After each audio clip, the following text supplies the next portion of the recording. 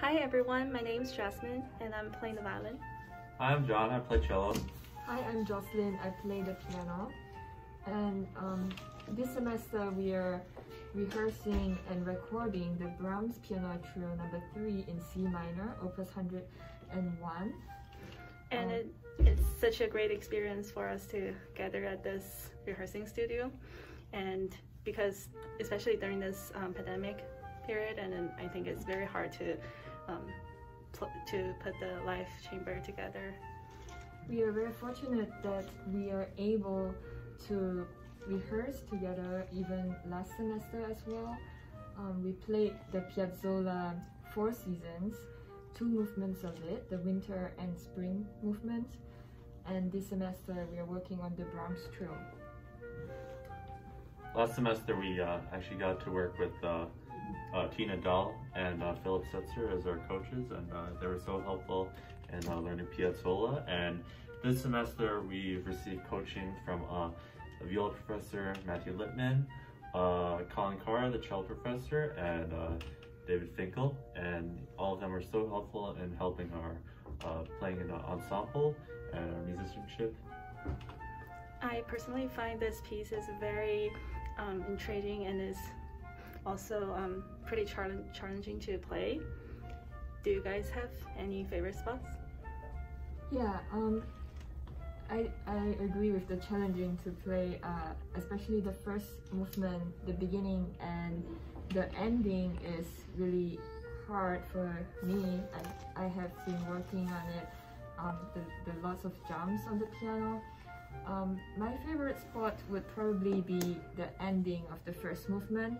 I also like the second movement a lot, but it's just really hard to play this contrasting um, movements. Yeah. My favorite part is probably also the ending of the, the first one. It's just such a great Brahmsian moment where, you know, everyone's uh, kind of like in unison and uh, so intense, uh, exciting. Yeah.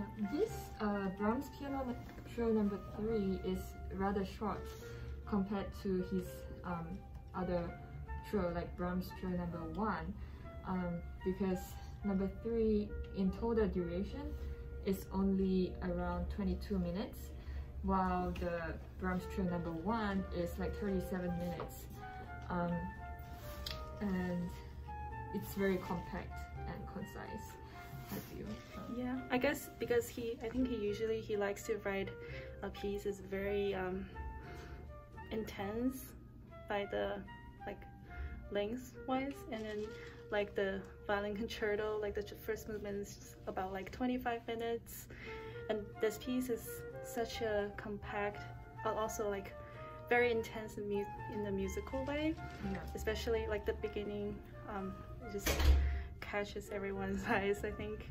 Um, like my um, my favorite spot is uh, the secondary theme in first movement is because I like my personal taste is I, I like the lyrical section and then it also reminds me of um, his symphony number one the last movement the famous lyric lyrical spot Yeah, it was uh, written in 1886 uh, along with uh, the vi- uh, Violin Sonata uh, number three and uh, Brahms' F major Sonata. So we kind of uh, view this work as kind of like a combination of uh, both those.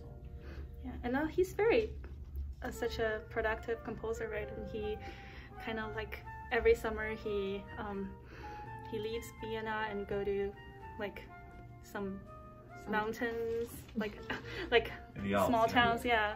Yeah. And he's And He- in the short, like three months uh, that he stayed in Switzerland near Lake Thun, um, he composed the works that John just mentioned, um, the Violin Sonata number two, and uh, part of the Violin Sonata, maybe most of the Violin Sonata number three, as well as the um, cello Cello. Sonata.